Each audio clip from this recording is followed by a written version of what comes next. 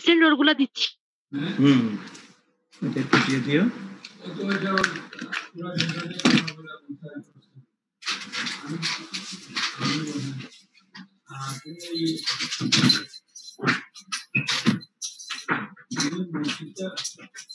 মহিউদ্দিন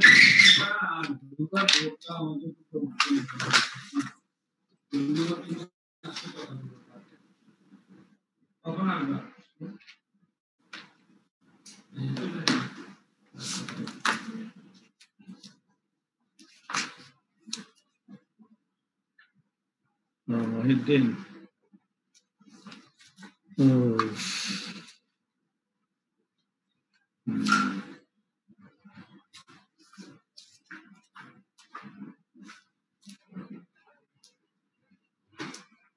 মহিউদ্দিন, ওই যে পার্সেন্টেজের যে ইয়েগুলা শিটগুলো একটু আনতে হবে নতুন করে আনতে পারবা ফটোকপি করতে হবে বা হ্যাঁ এগুলো প্রায় হয়ে গেছে শেষ প্রায়। হম ওই যে এই ফাইলটা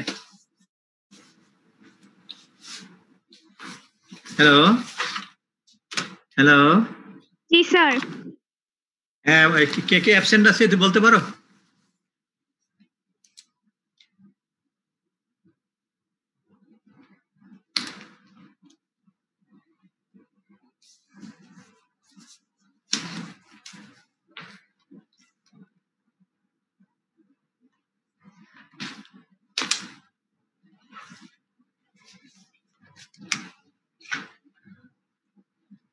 যারা যারা অ্যাবসেন্ট আছে নাম্বারগুলো আমাকে দাও।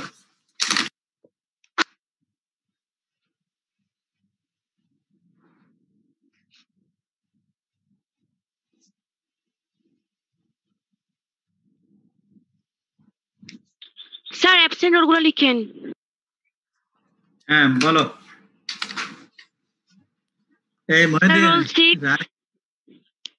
রোল সিক্স হ্যাঁ তারপরে? Roll six. 14. 14. 16. 16. Uh, 16. 17. 17. 17. Uh, 17. 25. Yes, sir. 25. 25 present, sir. Sir, 25 present. 25 present. Acha, 25 present. Present বলতেছে হ্যাঁ আচ্ছা তাহলে হ্যাঁ forty five sir thirty five thirty thirty five thirty five thirty five তাহলে thirty five thirty seven present তারপরে thirty seven forty seven absent thirty seven absent forty seven তারপরে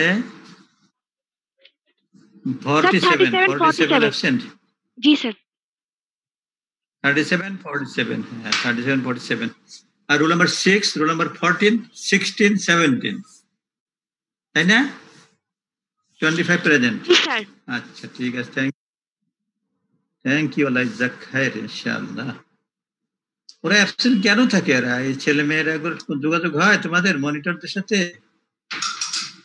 ওরা কেন অ্যাবসেন্ট থাকে বলতে পারো?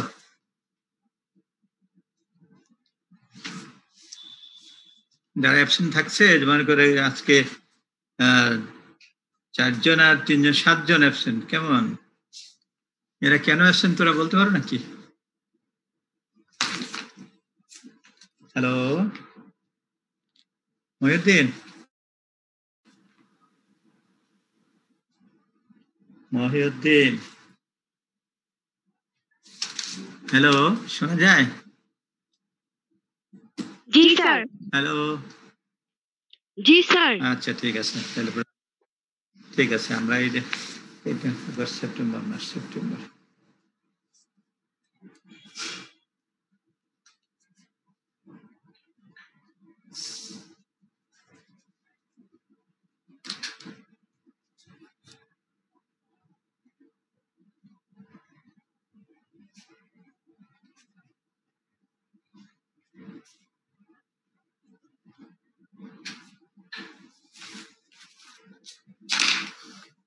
আমরা কোথায় আলোচনা করছিলাম যে ফার্স্ট স্টেজ তাই না? ফার্স্ট স্টেজে যেটা অ্যাক্সিডেন্ট প্লেসে গিয়ে কি কি করতে হবে, সেটা আমরা আলোচনা করেছি। যে আইসোলেশন করতে হবে the area with security cordon এবং transport to the hospital by ambulance land or air ambulance তারপরে identification of the parts or bodies photograph নিতে হবে এবং মিউটিলেটেড বা fragment should be numbered in serial number and leveling করতে হবে।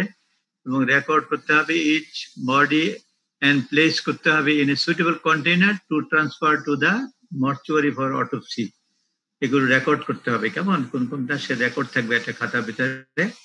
যেগুলো মর্চুয়ারিতে পাঠানো হয়েছে এই পার্টসগুলো এই এগুলো ডকুমেন্ট সিরিয়াল নাম্বার এটা। হ্যালো জি স্যার। হ্যালো হ্যাঁ তাহলে রেকর্ড করার পরে তারপর প্রোভাইড করতে হবে information to the victim and to the information to the relatives and press সাংবাদিক যার যার প্রশ্ন করলে এটার উত্তর দিতে হবে, কেমন? ইনফরমেশন এরপরে counselling of the relatives of the victim যাদের ভিকটিমদের সদর মারা গেল, তারা দুঃখে কাতর হয়ে যায়, তাদের তার সান্ত্বনা দিতে হবে, কেমন?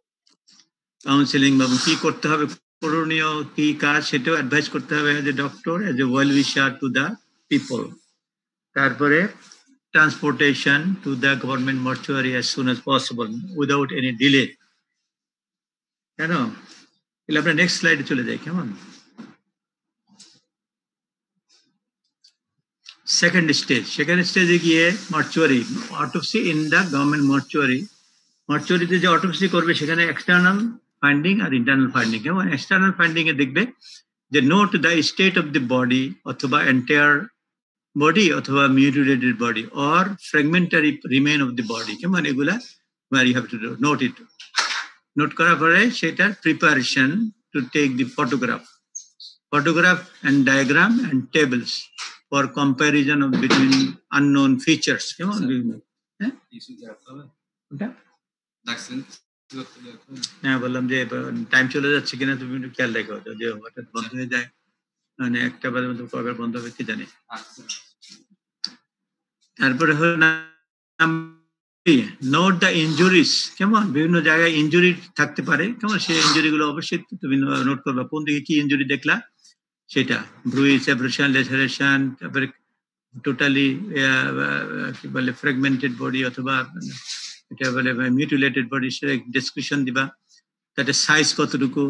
সাইড মানে কোন জায়গাটার শরীরের কোন জায়গাটার অংশটা নাম্বারিং করবা নেচার ইত্যাদি you have to write it in the detail description কেমন এগুলো। Number four compare medical records medical রেকর্ডগুলো যদি তার আগে থাকে কেমন সেগুলো অনেক সময় মিলিয়ে দেখা যায়, তার ব্লাড গ্রুপ কি ছিল, তার ডিএনএ ফাইন্ডিং কি ছিল, আগে যদি থাকে প্রমাণ পাওয়া যায়, তাহলে পরে মিলিয়ে দেখা যায়।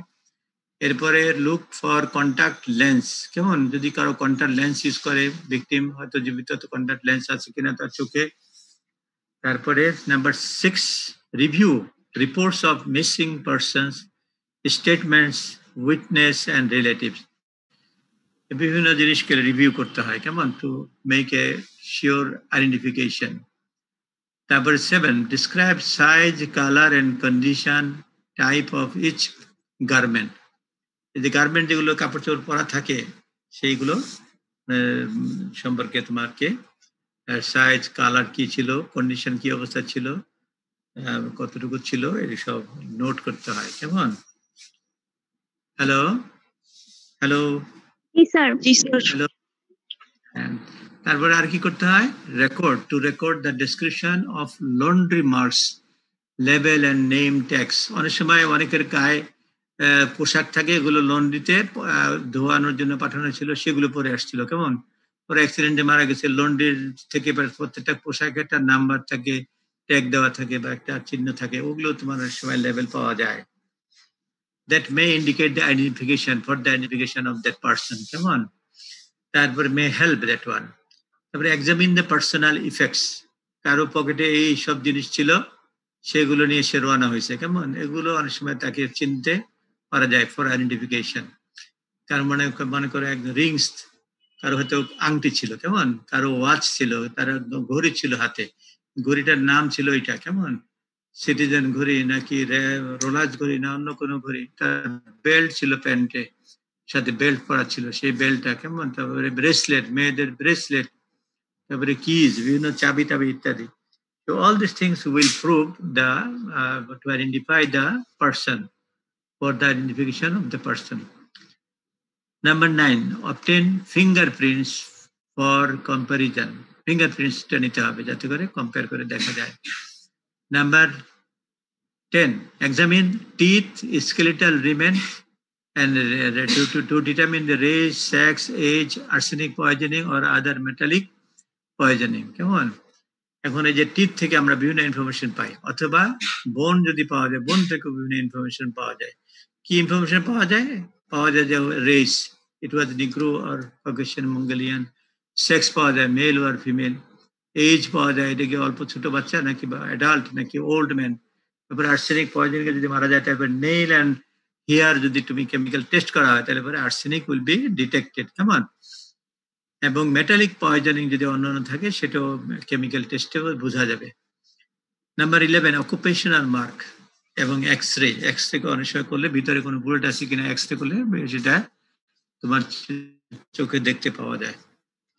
So these are the things we can R know from this in the field কেমন ফার্স্ট সেকেন্ড স্টেজ আর থার্ড স্টেজে গিয়ে আমরা ইন্টারনাল ফাইন্ডিং ইন্টারনাল ফাইন্ডিং এর ভিতরে কম্পারিজন অফ দ্য রেকর্ডস কি কি রেকর্ড আমরা ইন্টারনালি সবকিছু পাইলাম, তারপরে কজ অফ ডিজাস্টার কেমন এগুলো?